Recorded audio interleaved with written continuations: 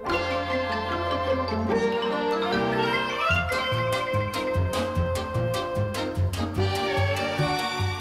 everybody, it's Chris Seeds, Wootini from GayGamer.net, here with another weekly video podcast. this week I actually want to start off uh, with some complaints about um, spoilers. Uh, so, there was a new trailer for Marvel's Civil War, or, and um, I had watched the first teaser, uh, but I didn't want to watch the trailer. Um, I find that, especially with the Marvel movies, um, if I want to see a movie, I don't want to see trailers for it because the trailers will inevitably spoil scenes. Um, and I stopped watching uh, the Marvel trailers because um, after Winter Soldier's trailer, because I was all excited and I watched the Winter Soldier trailer, and in the Winter Soldier trailer, they show a helicarrier falling out of the sky. Spoilers, but that movie's old now, so it doesn't count. And, um, you know, you're watching the trailer thinking, oh, that's so cool, what a great visual. Then when you actually go to watch the movie, that's like the end of the movie. Like, that's from the climactic final battle fight scene, and that's not something you should be putting in the trailer.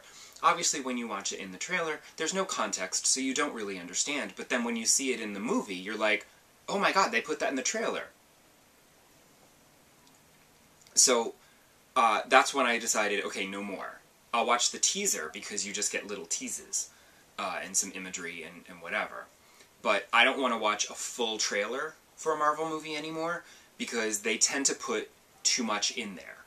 Um, so I didn't want to watch the Civil War trailer, except for the fact that um, you can't get away from the spoilers because everyone's like, oh, look at this. And people are posting all over Facebook and Twitter. They're posting still images from the trailer. They're posting animated GIFs from the trailer. So I saw Spider-Man. I'm a little annoyed that I saw Spider-Man. Um, I'm really hoping that's not Spider-Man's first appearance in the film, because that should be a big dramatic surprise moment that makes you go, oh, it's freaking Spider-Man! In a proper Marvel movie, not just the Sony Spider-Man movies. In a proper Marvel Cinematic Universe movie.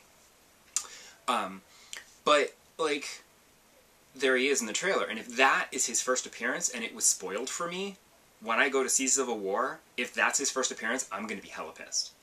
Um, so, even when I don't want to watch a trailer, and I choose not to click on all the YouTube links that everyone's posting all over Facebook and Twitter, I still can't get away from it because people are posting their favorite visuals from the movie as, as JPEGs or GIFs. Oh well. Hopefully they didn't put everything cool in the trailer, and there's still some surprises left in the movie. Um, because that's important. For instance, nice segue there, uh, this weekend I saw 10 Cloverfield Lane.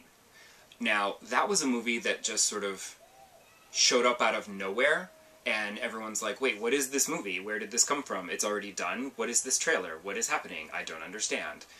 And the trailer was very mysterious and teasy, and it sort of gave you a hint of what the movie's about, but not really, and it was very intriguing. It did what a good trailer should do.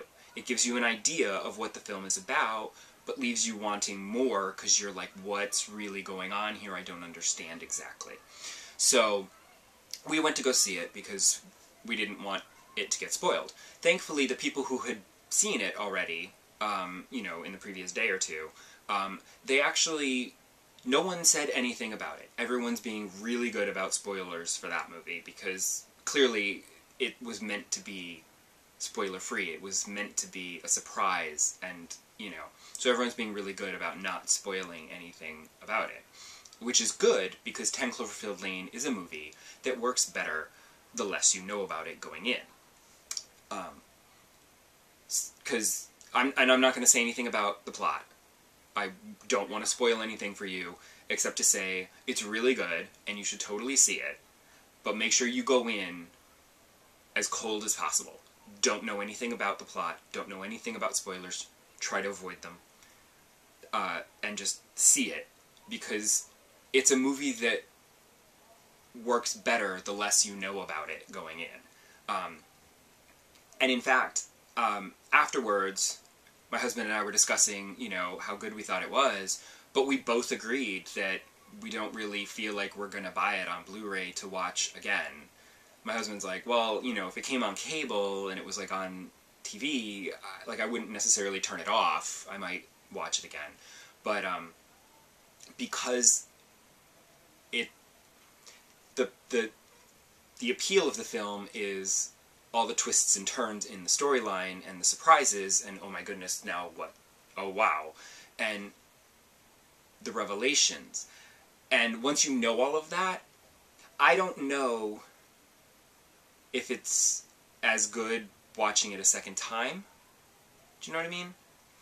Um, but it's definitely worth seeing, and it's definitely worth seeing in the theater because by if you want to wait until Netflix or DVD or HBO, you're gonna you're gonna have it spoiled. It's going to get spoiled. Because by then people won't care about spoiling the movie.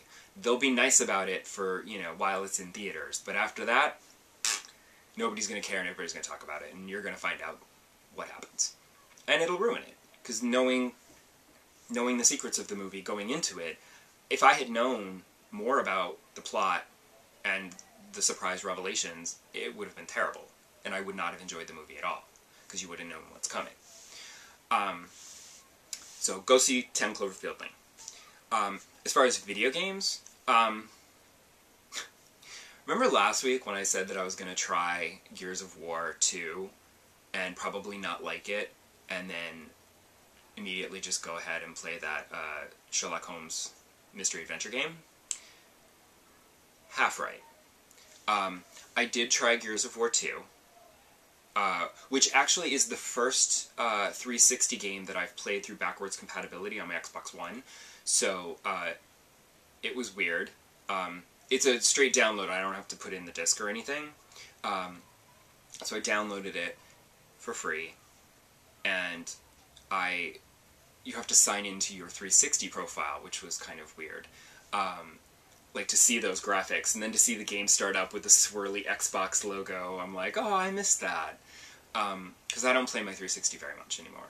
Um, but I played through like the tutorial and the first, you know, introductory mission, and then there was like the credits and the story sequence, and then when the gameplay started up again, I put it into pause because you know I'd been playing for a while and I haven't gone back to it. And that was like literally like almost a week ago. You know, like I, I started playing it like a day or two after I filmed my podcast, so um, days later, and I still haven't gone back to it. And I don't know why exactly. Um, like the character, like I think it's the fact that the story isn't like terribly compelling because the gameplay itself is similar to like the combat in Mass Effect, where you're moving through relatively linear levels, and you're taking cover and you're shooting at the aliens, and then you're duck, you know, um, just minus the fun, you know, powers. Uh, if you played Mass Effect with powers, if your character had those.